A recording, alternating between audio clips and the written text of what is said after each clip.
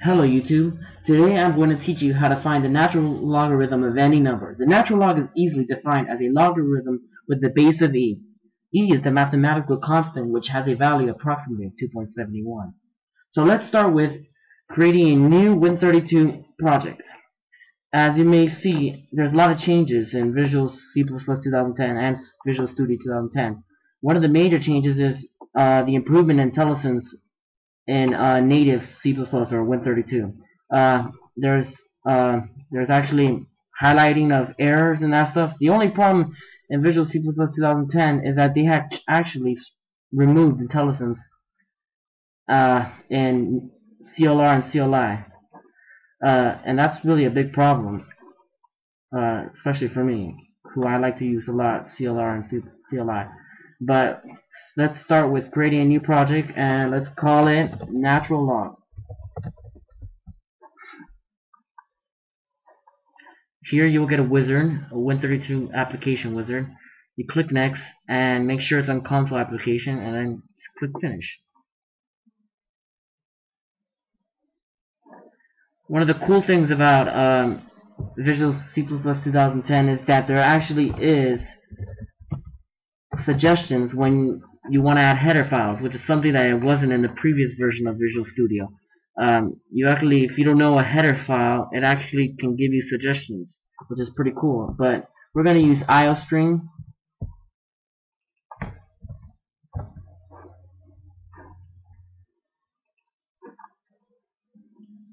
Here you can actually see us parsing the header file and then it's done. Uh, now we're going to include another header file and we're going to include math.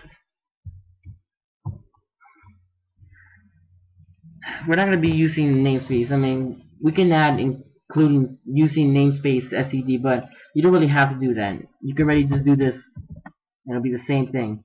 It will give you the members of std. Uh, so let's start with the code. We're going to start with float. Float natural log.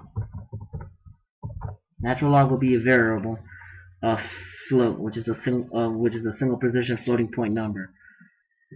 Uh, then we're gonna go std cout entry number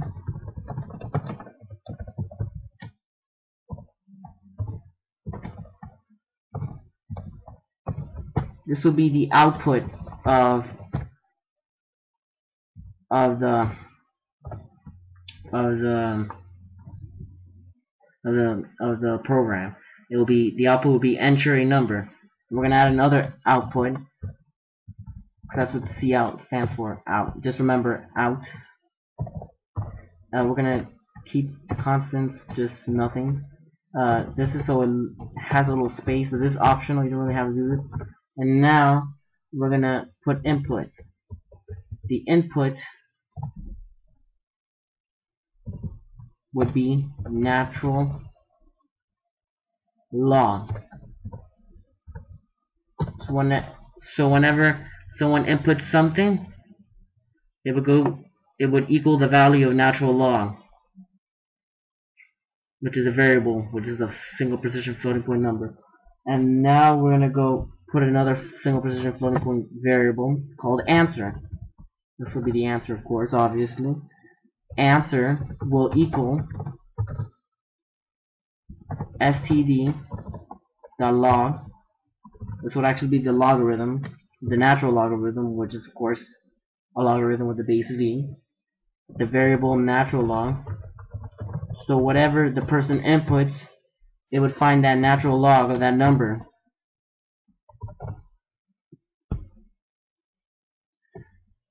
And we put a little space again course, this is optional. You don't have to do this way.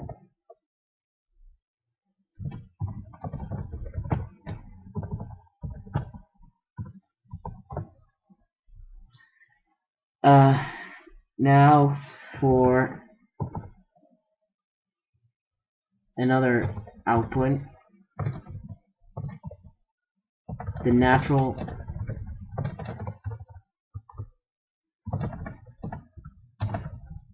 logarithm of the number is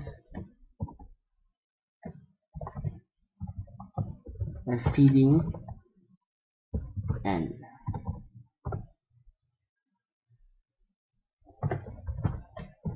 And then another space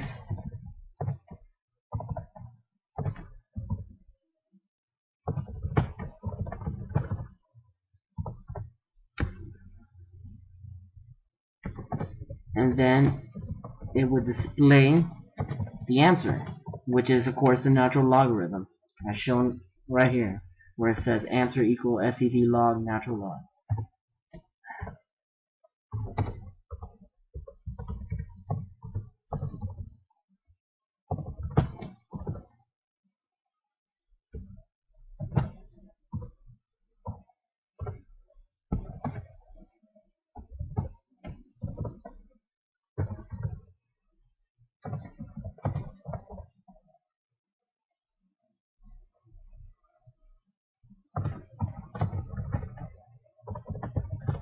This is another space.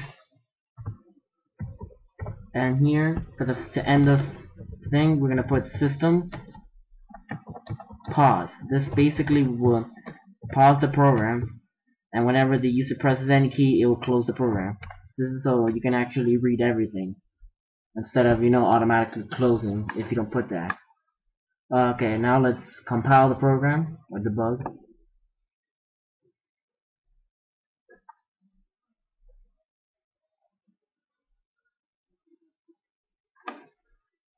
Just enter a number.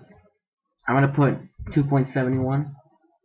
Actually, 2.72 should give roughly about 1, but it's not exact. The natural logarithm of number is 1.0063. Press and continue.